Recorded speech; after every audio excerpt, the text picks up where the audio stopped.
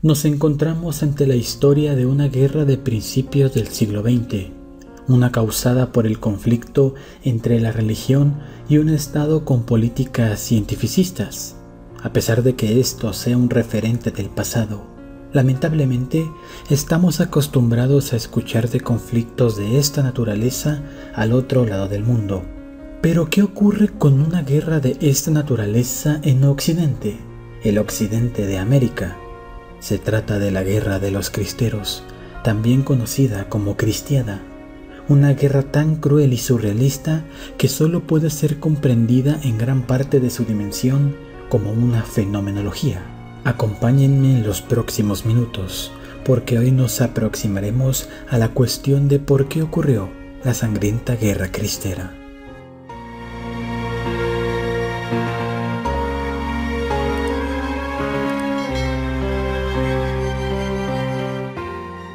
Entre la modernidad y la antimodernidad. El filósofo ecuatoriano, después naturalizado mexicano, Bolívar Echeverría, realizó un valiosísimo ensayo con fuertes connotaciones y dialéctica antropológicas, exponiendo aquella condición tan peculiar, al menos de la sociedad mexicana en sus orígenes. ¿Cómo es que esta nación, desde mediados del siglo XIX, proponía un Estado y una educación laica, o sea, sin ningún tipo de intervención o ideología religiosa, así como garantías individuales, una igualdad ante la ley de sus ciudadanos. Claramente, un proyecto de Estado-nación bastante idealizado por una burguesía esencialmente capitalina y proveniente de los estados satélite del centro de México y algunos, pero en menor medida, del norte y sur del país, apoyado siempre en las ideas de la Ilustración encarnadas en logias masónicas, un fenómeno ocurrido casi al unísono en toda Latinoamérica en el siglo XIX.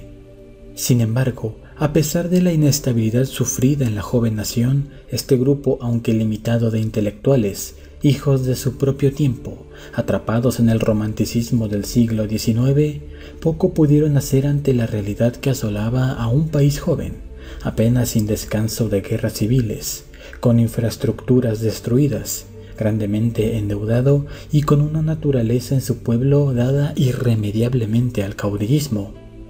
Cabe recalcar que a pesar de todo, su proyecto de nación resulta cuando menos destacable, en especial si contrastamos este con otros sistemas de gobierno que no se plantearon tales cambios hasta bien entrado el siglo XX, pero al mismo tiempo Constitución de 1917 y la Ley Calles. A inicios del siglo XX, México se encontraba librando una sangrienta guerra civil que sería conocida como la Revolución Mexicana. El germen del conflicto se trata de la acumulación de poder y la riqueza de un país que ha alcanzado un desarrollo económico formidable bajo la dictadura del general de origen oaxaqueño Porfirio Díaz. Sin embargo, casi todos los beneficios han terminado en manos de una muy pequeña élite que somete violentamente y explota a la mayoría de la población restante, sumida en la pobreza y la ignorancia más terribles.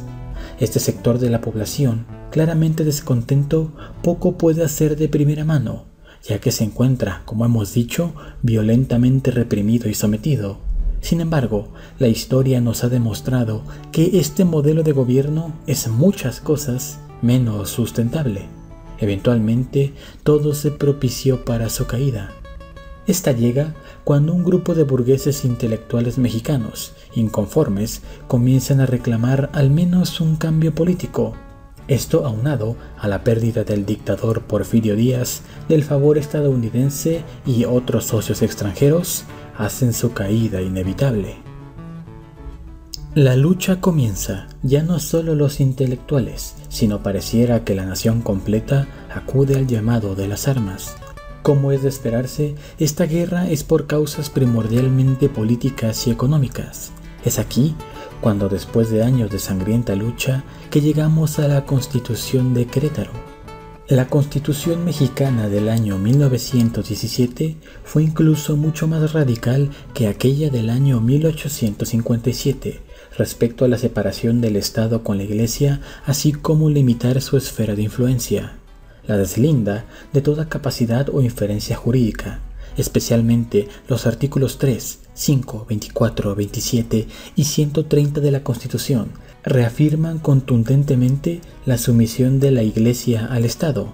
Estas medidas, sin embargo, bastante radicales, fueron rápidamente muy impopulares entre los sectores sociales como el campesinado, aquellas comunidades aisladas de ideologías profundamente conservadoras, incluso buena parte de la sociedad mexicana pudiente conservadora. El epicentro de esta radicalización y rechazo de estas medidas constitucionales se concentró en los estados del centro oeste de México. Ante la presión del gobierno de Calles, los jóvenes católicos fundaron en marzo de 1925 la Liga Nacional de Defensa de la Libertad Religiosa.